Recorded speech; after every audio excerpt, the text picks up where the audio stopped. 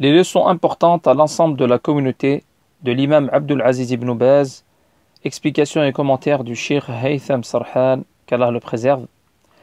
La neuvième leçon. La formule du tashahhud. Les salutations, les prières et les grâces sont pour Allah. Que la paix, la miséricorde et les bénédictions d'Allah soient sur toi, ô prophète. Paix sur nous et sur les pieux serviteurs d'Allah. J'atteste que nulle divinité ne mérite d'être adorée sauf Allah, et j'atteste que Muhammad est son serviteur et son messager. Ô Allah, prie sur Muhammad et la famille de Muhammad, comme tu as prié sur Ibrahim et la famille d'Ibrahim. Tu es louable et glorieux, et bénis Muhammad et la famille de Muhammad, comme tu as béni Ibrahim et la famille d'Ibrahim. Tu es louable et glorieux. En arabe, التحية لله والصلوات والطيبات. السلام عليك أيها النبي ورحمة الله وبركاته. السلام علينا وعلى عباد الله الصالحين. أشهد أن لا إله إلا الله وأشهد أن محمدا عبده ورسوله. Ensuite la prière sur le prophète.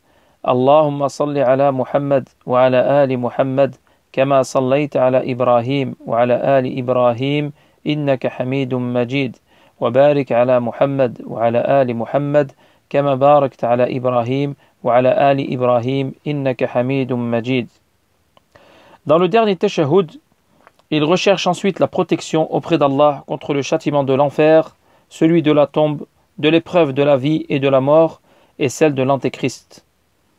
Ensuite, il peut invoquer Allah comme il l'entend, ou choisir de préférence des formules rapportées dans la Sunna notamment Ô Allah, aide-moi à t'invoquer, à te remercier et à mieux t'adorer.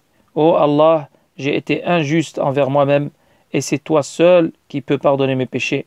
Pardonne-moi et sois clément envers moi, car tu es le grand pardonneur, le très miséricordieux.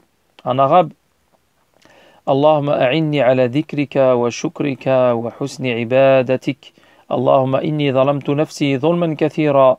ولا يغفر الذنوب إلا أنت فاغفر لي مغفرة من عندك وارحمني إنك أنت الغفور الرحيم Quant au premier tashahhud, on se lève après les deux attestations de foi pour la troisième unité de prière, pour les prières du Dohr, Asr, Maghrib et Isha.